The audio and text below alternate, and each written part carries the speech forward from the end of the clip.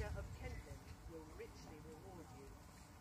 In eastern Kent, off in the ocean, is the island of Thanet, the loveliest of lands. This we will give you as a new home and country. Like you, Hengist the chieftain laughed at this loudly.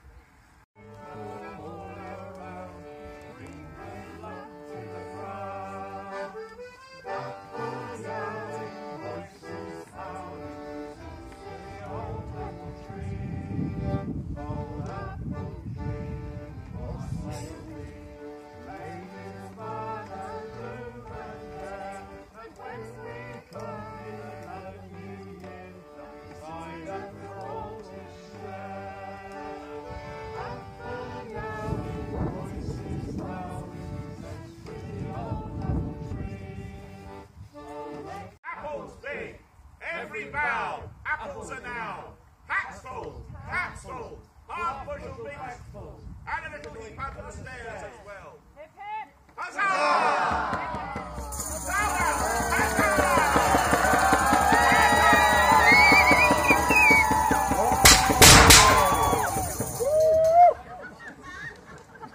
Expect that.